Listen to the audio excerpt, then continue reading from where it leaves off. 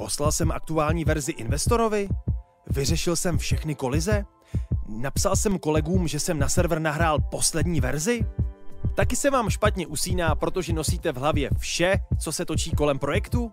Jak vidíte, i řízená komunikace firmy může být chaotická, když se využívá příliš mnoho komunikačních kanálů. Často dochází k chybám, které stojí čas a peníze. Jak vidíte, BIM 360 za vás pohlídá zprávu dat a komunikaci v rámci celého projektu.